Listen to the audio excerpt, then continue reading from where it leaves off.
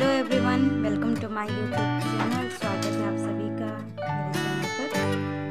और आज है महाशिवरात्रि का मेला, जो कि टिकलागढ़ पर है। तो हम सब वही देखने गए हैं।